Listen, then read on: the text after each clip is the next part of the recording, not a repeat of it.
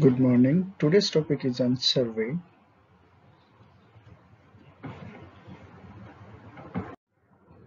Learning outcomes. Explain the different types and uses of survey. Describe the various methods of data collection. List the steps in conducting a survey. Summarize the various conclusion of National Oral Health Survey conducted in Malaysia.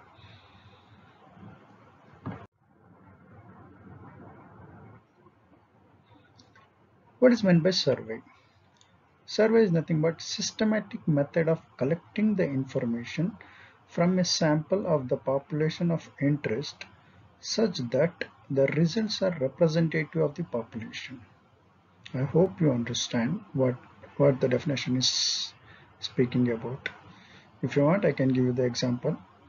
Survey is nothing but the method of collecting the information from a sample because whatever the research you do it's only on the samples you are selected. You are not going to do all on the whole population. For example the malaysian population is 30 million but your sample will be somewhere 300 600 something like that.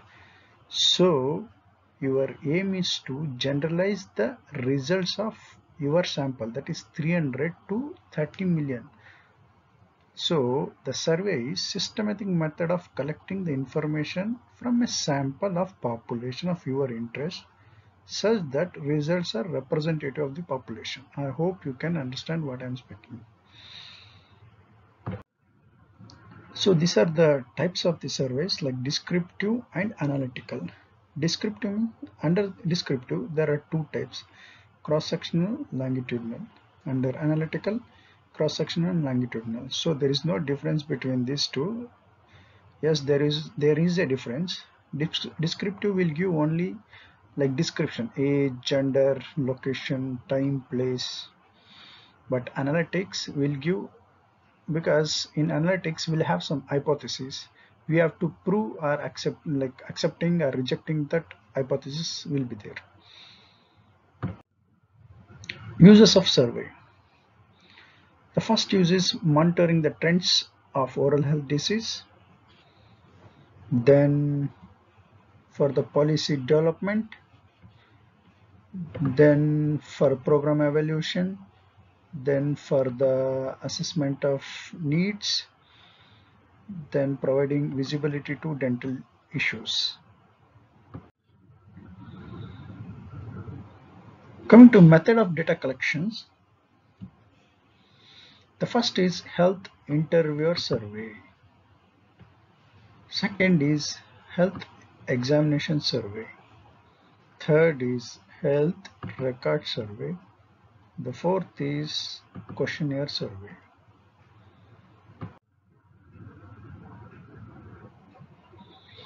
Coming to health interviewer survey.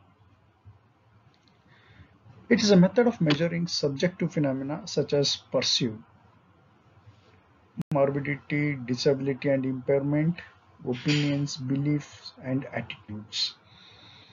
The data obtained may not be reliable because of the limitation of the interviewer method, so it can be combined with health examination.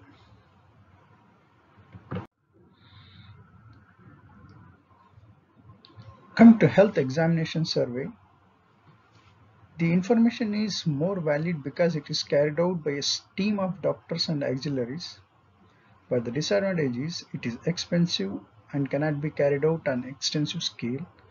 The method also requires consideration of treatment provision to ailing patients.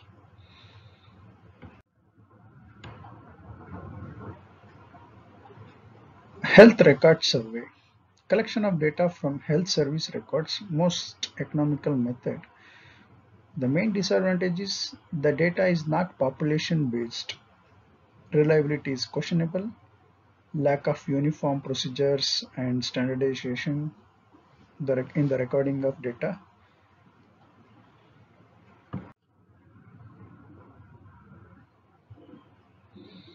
Coming to questionnaire survey, use of questionnaire and interviews is standard method of data collection in clinical, epidemiological, psychosocial and demographic research. It is used to measure subjective phenomena. Taking medical history is a form of questionnaire interview and is recorded either in a fixed protocol or taken as an open-ended interview.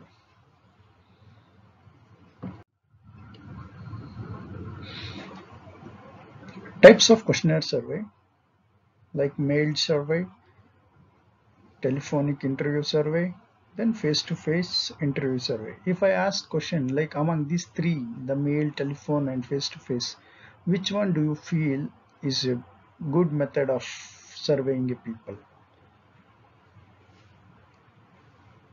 You have to answer.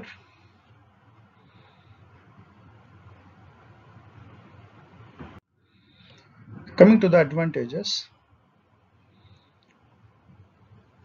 it's like simple, economical, standardization, uh, written instruction, reduce biases from difference in administration, anonymity like privacy encourages candidate, the candidate and the honest responses to sensitive questions. Disadvantages, certain level of education and skill is expected from the respondent. There is usually high rate of non-response. For example, if you send the mail uh, for 100 people, you will have like uh, I don't think all the 100 people will uh, respond to your mail. So online things we can't expect 100% response.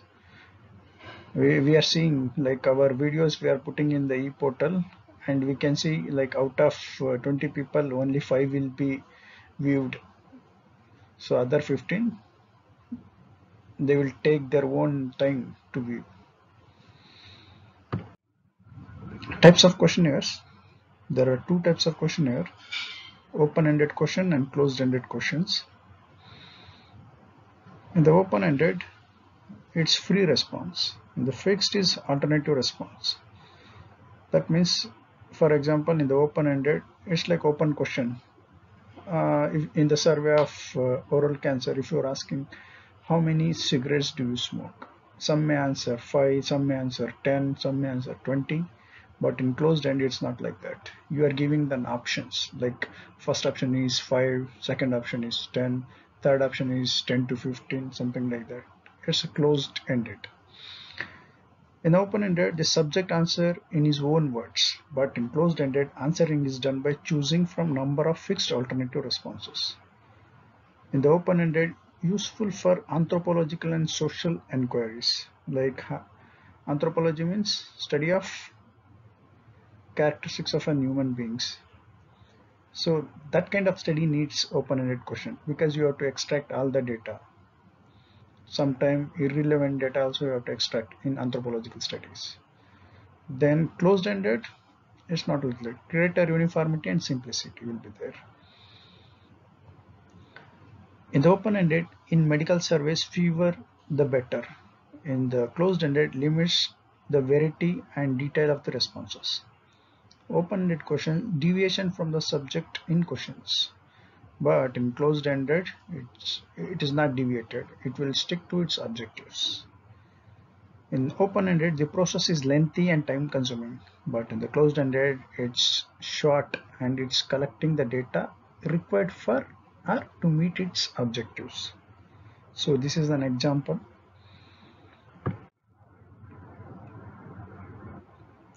Advantages of closed questionnaire is focused and pertinent to the study subjects, easy to administer, uniform and simple, pre-coded, analyzed in short form.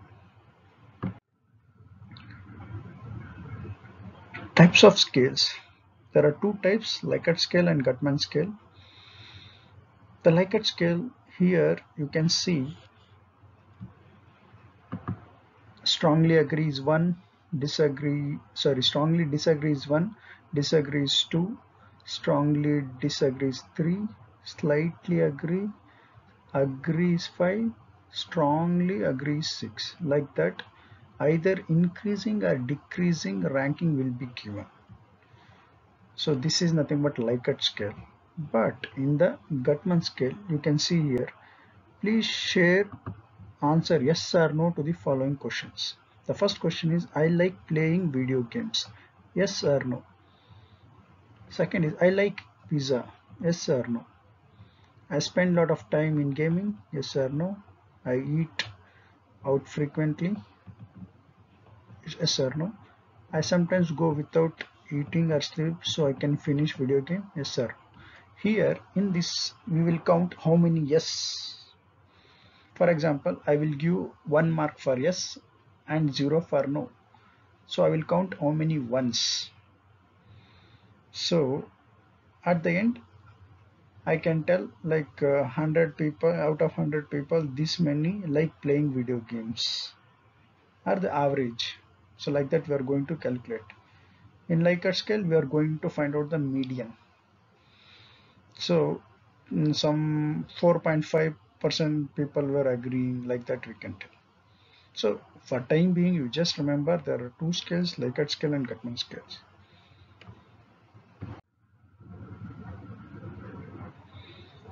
So this is the description of the Likert scale. It's summative, used to quantify attitude and behavior.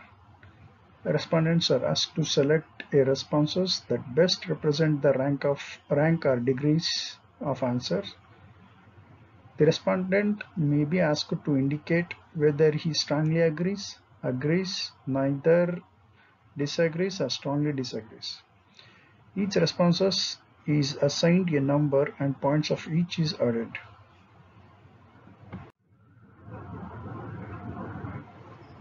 Coming to Guttman scale, this contains a series of statements that expresses increasing intensity of characteristic.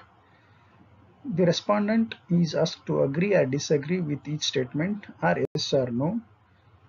The respondent score is the total number of items with which he agrees or disagrees.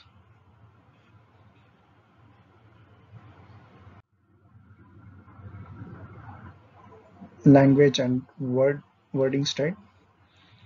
In the any questionnaire study, the pitch to the level of the respondents. You can't use uh, the sentences like vocabulary which is very high, which is like which is not able to understand by the normal person.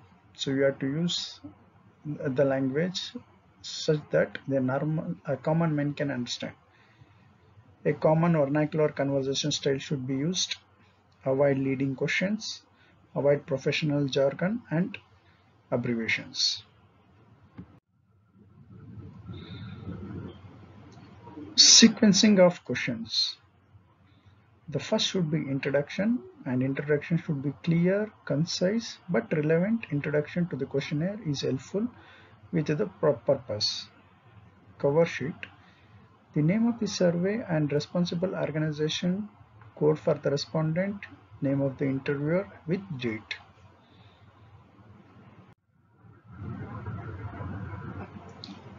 Sequencing of questions. Warm-up questions or statements should start the questionnaire. Do not start with threatening questions about the sensitive issues like income. Transition from one section to other should be smooth.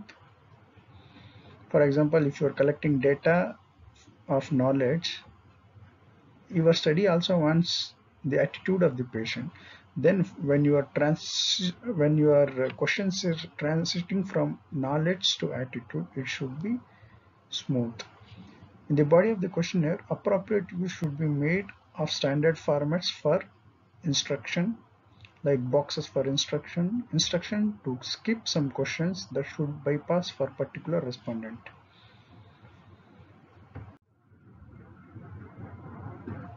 Sequencing of questions. Requirements of questions. Respondents can be expected to know the answer. Must be clear and unambiguous. Must not be offensive. Must be fair. Instructions. Separate instruction manual may be used. Instruction may be included in the questionnaire. Reliability of the questionnaire. Inbuilt reliability which is achieved by repeating certain questions, rephrasing the second inquiry while maintaining the same or comparable response codes. Repeat reliability, the degree to which the results of measurement, calculation or specification can be depended on to be accurate. Usually Factual question gives reliability. Opinion questions are less reliable. The degree to which a research instrument produces consistent results measured by test and retest, parallel forms, then internal consistency reliability. These are some of the statistical tests we have to use to check the repeat reliability. Coming to validity of the questionnaire, truth and accurate representation of information. It is an estimation of how accurate an instrument is at measuring what it is trying to measure. There are two types of internal uh, like validity. First is internal validity and the second is external validity.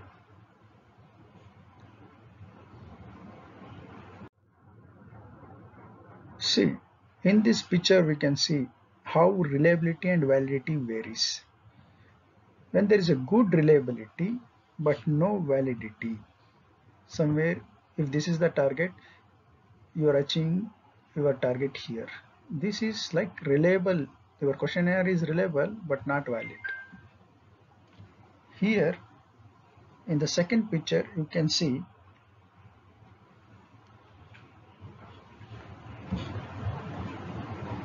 low validity and low reliability because here it's not on the particular target also here at least it's on the particular target here there is no particular target and it's not reliable also this you can appreciate this is the picture of not reliable and not valid.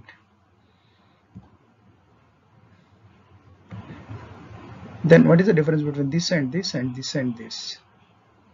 Just see the picture and observe. You can make the difference. This is the one which is having both reliable and valid. These two you can relate first and last. Then these two you can relate. Auxiliary activities, pretesting the questionnaire, training of interviewers, callbacks, editing and coding. Coming to the pre-testing the questionnaire is like try out the questionnaire. Pre-testing is carried out on small number of respondents who are comparable with the sample of correspondents but are not part of it the results of the pretesting are incorporated into rewriting of the questionnaires. Training of interviewers. Interviewers must be carefully selected and properly trained. They are the backbone of the data collection in survey. Instruction should be given about confidentiality of information, patient and perseverance, being pleasant, with positive attitude following the instructions. Objective of the training and calibration. To ensure uniform interpretation, understanding and application by all examiners of the codes and criteria for the various disease and condition to be observed, to ensure that each examiner can examine consistently.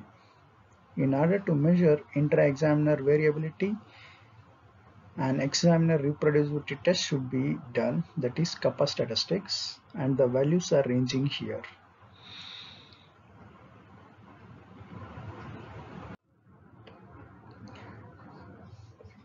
Precautions during training and calibration. Keep the number of examiners to minimum. Yes, always you have to keep the number of examiners to minimum discuss interpretation of borderline problems. Use only one make design explorer. I'm giving just an example of explorer. In common, use one, like for example, one manufacturer, like uh, one manufactured instruments, whether it's explorer, whether or the scale, anything. But the manufacturer should be the same. Why means because if you are taking different instrument from the different manufacturer then the accuracy won't be there there will be bias in the measurement of that have all members of team examine few cases in sequence and then exchange cases until each examiner has examined each patient type and circulate among the examiners any rules or system which may seem pertinent. The supervisor should recheck an occasional case throughout the entire survey.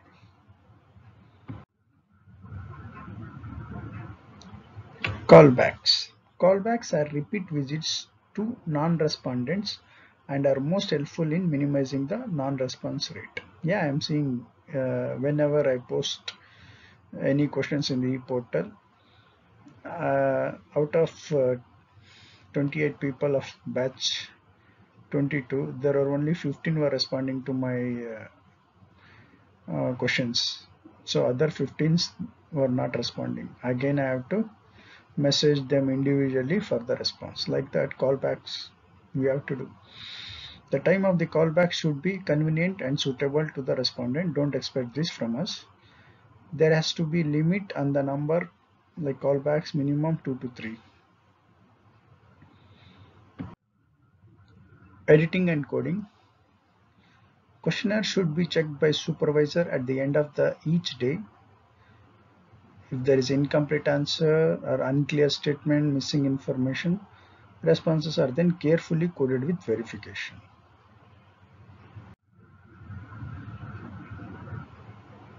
Coming to steps in surveying, the first and foremost thing is establishing the objectives. Then the second is designing the investigation. Third is selecting the sample. Fourth is conducting the examination. Fifth is analyzing the data. Sixth is drawing the conclusion. Seventh is publishing the results.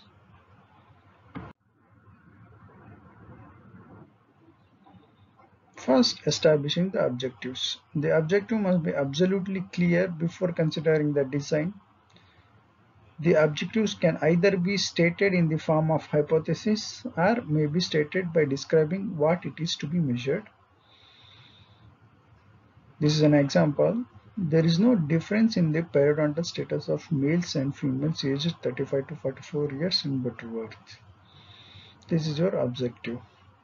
That means there is no difference in the periodontal status of males and females. After reverse study, you found out there is a difference. Rejecting this and accepting your alternative one. That's what Dr. Sheila has taught you. There are two types of hypothesis, null hypothesis and alternate hypothesis.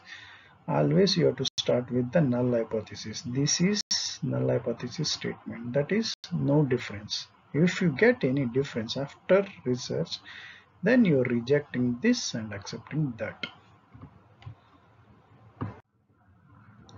Designing the investigation.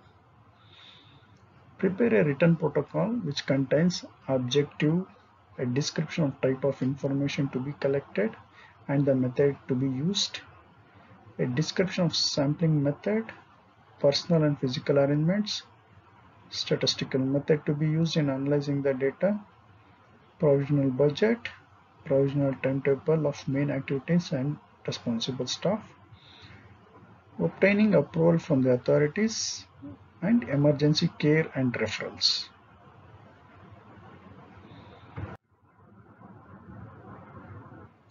Selecting the sample. Actually, this procedure is very important, but some of the researchers won't follow this procedure in correct way. While designing a study, it is impossible to examine every individuals in the population under investigation. Resources in terms of time, manpower and money may not be available for collection and analysis of vast amounts of data. For this reason, a sample must be chosen from the population.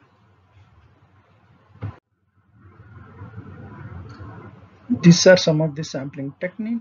First is probability sampling.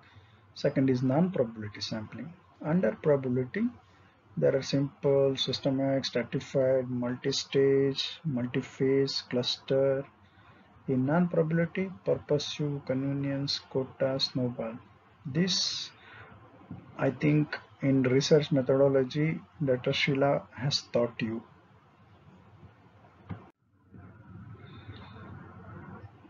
Coming to errors. there are many types of errors but here I'm going to discuss very few. In that the first one is observer error. It is subjective and objective. Subjective means sometimes this is like human bias. Sometimes we ourselves assume that student is good or that student is bad. That is error. That is subjective error objective means but sometimes for example if I want to calculate the periodontal pocket depth I will use one probe and I will calculate. Oh, I was getting some 3.5 if I give it to you and if you measure you will get 4 so which is like if I measure sometime like application of pressure on the pocket or within the pocket is difference among ourselves so that time there will be an bias or it's an error. So that is an example for instrumental error and sampling error also. In the beginning we will think we will do random sampling. Later we will do convenience sampling. That is the biggest bias in any study.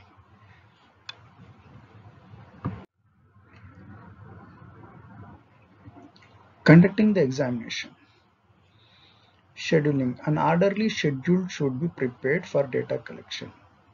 For example if you have decided butterworth i have to collect data from 9 to 10 that you have to tell in your protocol preparation only. During that time only you have to tell and you have to follow the same timeline. Why means to prevent the waste of time and resources and to perform quickly and more the time spent on each individual necessitates reduction in the number of individual exam.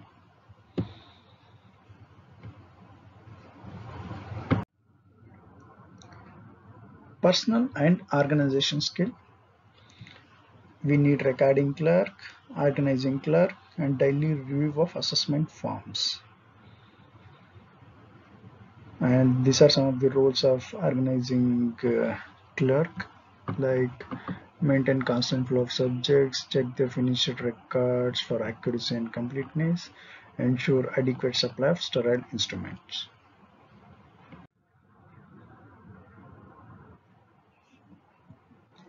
Instrument supplies.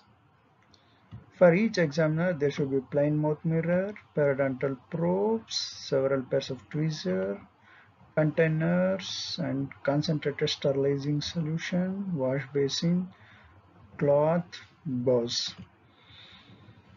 My question is, in your protocol, most of you are doing survey, like in your research protocol, most of you are doing survey. Have you put this instrument list in your research protocol? I don't know. Please check in your research protocol whether you have put or not. If you have not put, then you have to put. Infection control and disposable. In the examination area, should be planned for maximum efficiency and ease of operation, proper sitting of examiners and subjects, adequate source of light, and avoidance of crowding and noise. This is most important in any survey. You have to keep the area clean you know i think in the present uh, scenario the covid-19 if you are not controlling or if you are not maintaining infection control appropriately then you are spreading the disease. Coming to the classification of examination the first one is type 1 the type 1 is complete examination how you can do complete examination means you will be having mouth mirror explorer good illumination full mouth radiographs additional diagnostic method study models pulp testing trans illumination and laboratory investigation. So you are not left anything. All the things like all the examination you are carrying out.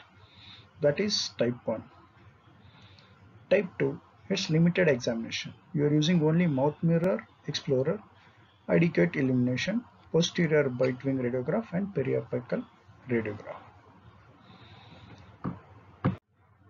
Type 3 is just inspection. You are having only mouth mirror, explorer and illumination, most commonly used in public health surveying. That's what we are doing.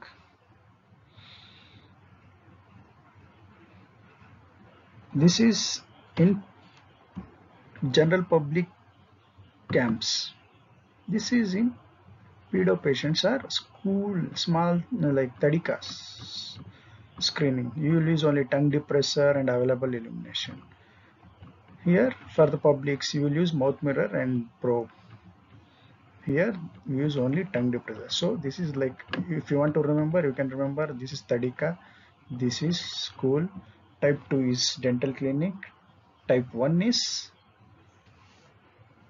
a dental college we have OPG everything. Coming to analyzing the data, once the examination is complete, assembling the data gathered and interpretation starts like analysis, data processing and interpretation of results. If your protocol is correct, you just follow whatever you have written in the protocol. Then the conclusion. The conclusion are specifically related to the investigation that has been carried out and no extrapolation is made to the population as a whole.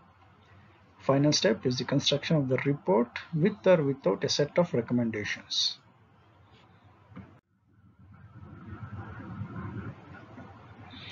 Publishing the report, statement of the purpose of the survey, materials and methods like area and population, types of information collected, method of collecting the data, sampling method, then results, discussion and conclusion, then the summary. So your report should contain all these things. Then WHO format for reporting survey. The same thing as we discussed in the previous slide uh, statement of the purpose of the survey, material method, description, type of data collected, sampling method, examiner personnel and equipment, statistical analysis, cost analysis. This is one eh, which is added in WHO format. Then reliability and reproducibility of the results. So this is the most common type of survey we are doing pathfinder survey. That means you are finding some path okay for example if you are finding something like in age group of 5 years you are measuring the oral health status. Again in the age group of 12 you are measuring the oral health status. Again between the age group of 15 you are measuring. That means you are measuring from in the 5 year age group 12 year age group and 15 year so some path is there from 5 12 15 so 5 I can tell a school going children's. 12 and the 15 in the 12 you can see mixed dentition. In the 15 you can see almost the permanent dentition. So like that you are finding some path. So that is nothing but pathfinder survey. So in the pathfinder survey you have to tell about the method and the sampling technique and which are the population and their subgroups and appropriate number of subjects specific index age groups in one location. In this way, reliable and clinical relevant information for planning is obtained at minimum expenses.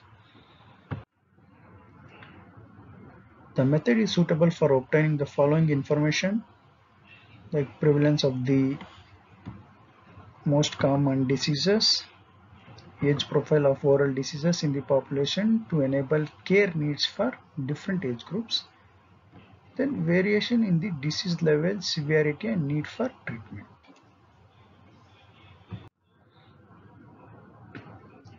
Coming to Pathfinder survey, it also contains pilot survey for minimum sample to check whether whatever preparation you have made it's working properly or it will work properly. To check that you are going to do pilot survey. Once you are whatever protocol you have written it's correct then you have to go for national health survey or national pathfinder survey. In the pilot survey most important subgroups you have to select two index age groups you have to select usually 12 years you will select minimum amount of data then additional data implementation and monitoring of the service. Before doing the main study or main survey you are going to do the pilot survey so once you confirm everything is working according to your plan then you have to go for the national pathfinder survey. That is all important subgroups you have to check. At least three of the age groups like index age 5 12 15 then 35 to 44 65 to 74 then collection of data planning and monitoring of the services So I already explained what is pilot survey. It's just the beginning of any survey. You have to check whether your protocol is working properly or you have to do any modification. So if you do the pilot survey, you will come to know whether you have to do any modification in the previously planned survey. National Oral Survey of Adults, Oral Health Division, like periodontal status in 1990 and 2000 and 2010 periodontal disease all level of severity is 92.8 percent in 1990 90.2 in 2000 and to, in 2010 it was 94 so if you check the trends that is the use of our survey. Uh, in the 92.8 in the 90s and 90.2 in 2000 that means it is reduced in 2000 but again in 2010 it's increased like this we can plot a trend. If you plot a trend you can check for like why that fluctuation what might be the cause for that fluctuation. That also you have to check.